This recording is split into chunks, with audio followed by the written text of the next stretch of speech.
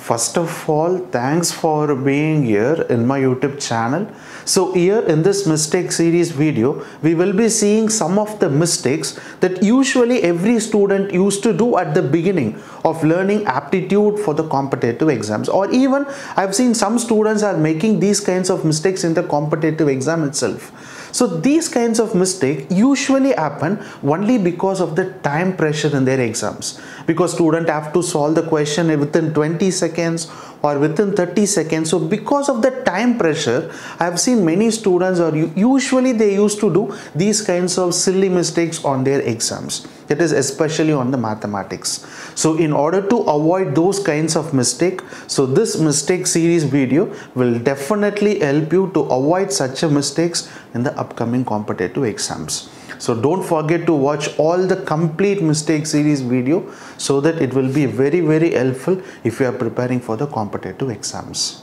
So and one more important thing, so many students those who are asking all my videos, all my feel free to learn videos in offline, either it can be a pen drive mode or it can be SD card mode where you can get the pen drive and you can able to watch all my videos what I posted on my channel feel free to learn in offline. So get the pen drive or get the SD card, start learning for the upcoming competitive exams. If you want any details how to purchase it, WhatsApp us. So our team will contact you soon. So thank you so much and now let me move on to the mistake series videos. So friends, here is the video number 4 that is on the mistake series on the topic simplification on the concept called mixed fraction. So just look at the question 4 1 by 3 minus 3 1 by 2 is equal to question mark. So here this mixed fraction question usually I have seen students used to solve in two different method. So method number one they convert this mixed fraction into a fraction and then they take LCM and they find what is the value of question mark. So only 5 percentage of the students use that method number 1. I will teach you the method number 1. So in this method number 1 I have seen many students will not make any mistake but they won't use method number 1 to solve these kind of question. Why? Because if the question is like little bit a 2 digit number or a 3 digit number you can't able to use method number 1 that will be a lengthy process but anyway i will i will tell you how this method number one applies to solve the question. Just see here 4 1 by 3 right? So 4 1 by 3 can be written as 4 into 3 will be 12 so 12 plus 1 will be 13 so 13 by 3 minus of 3 into 2 will be 6 6 plus 1 will be 7 7 by 2 equal to question mark.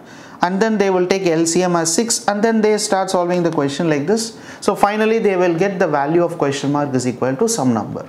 So this is one way of solving a question but only 5 percentage of the students used to proceed the, this solvation method. Why? Because you know the problem here is if the numerator is 113 example i am saying right? If the number is like this 9 1 by 17 minus of 7 1 by 23 equal to question mark so if the numbers are like this 17 23 so definitely taking an LCM and multiplying with the numerator part is not at all an easy method. You will get around 1000, 2000 the numerator. So that feels to be very tricky to solve the question. So I have seen students, those who are studying for the competitive exams for more than 6 months or 1 year definitely will not solve this question by method 1. Only the beginning uh, stage you will solve by these kinds of question by method 1 but after some stage you will not solve the question by method 1 only if you if you know that method number two you can able to crack these kinds of questions soon. But the problem here is I've seen students make mistake only on this method number 2 so just see the method number 2 here is the mixed fraction 4 1 by 3 they just remove the mixed fraction 4 1 by 3 as an integer and a fraction. Just see here this 4 1 by 3 can be written as 4 plus 1 by 3 understood so similarly, this is the area where students make a mistake, minus 3 1 by 2. How students will separate here is minus 3 plus 1 by 2 is equal to question mark. So is this right way to solve the question? No, it is wrong. So this part is completely wrong where students making mistake again and again on this area. Minus 3 plus 1 by 2. So here the mistake here is just see here minus 3 1 by 2 it's a mixed fraction.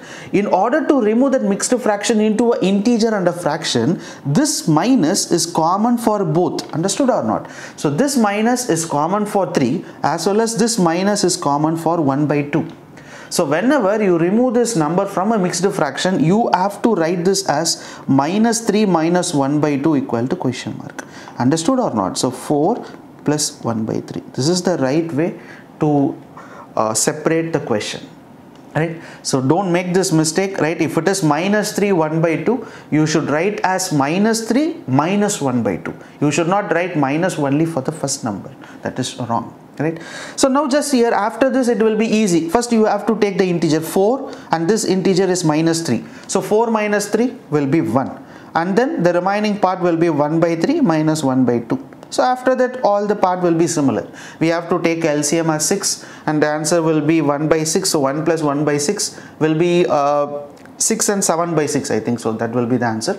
I don't know exactly but this is the way to solve. Understood or not? Right so method number one we we will not remove the mixed fraction into a integer and a fraction. We directly convert the mixed fraction into a fraction and we take LCM that will be helpful only for the small number of questions. That is if a question that has only 9 7 6 etc but if you have two digit or a three digit number so do not proceed the question by a method number 1 so only method number 2 will be helpful.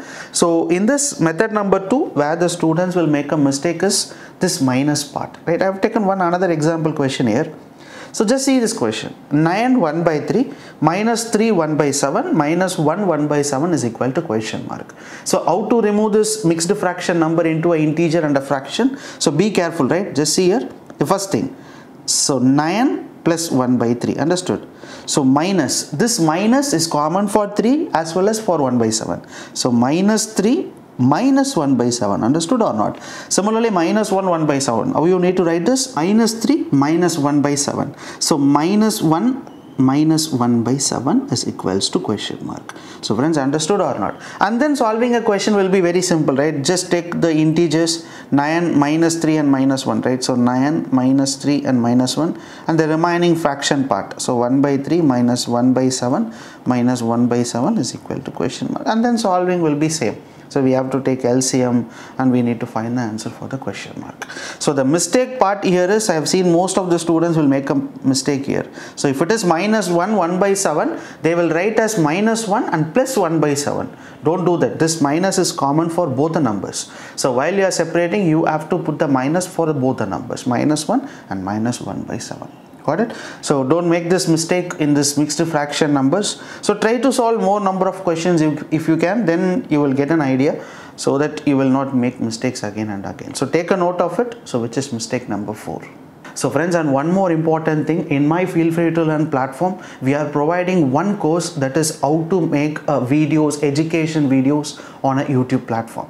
So we will teach you all the techniques because I have seen many students who keep on asking me I want to share the knowledge to the other students how I can make a videos proper education videos on a YouTube platform. So this is a green screen video you can able to see the background is completely green screen I am using a software a tab and a pen. So I will teach you all the steps right how to make a proper education videos and how to start your YouTube channel where you should invest money and where should not invest your money and wasting your money is not needed.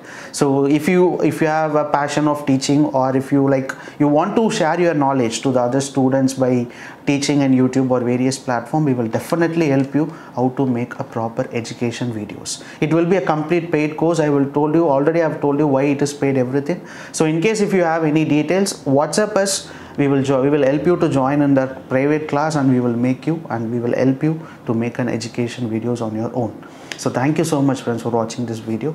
Bye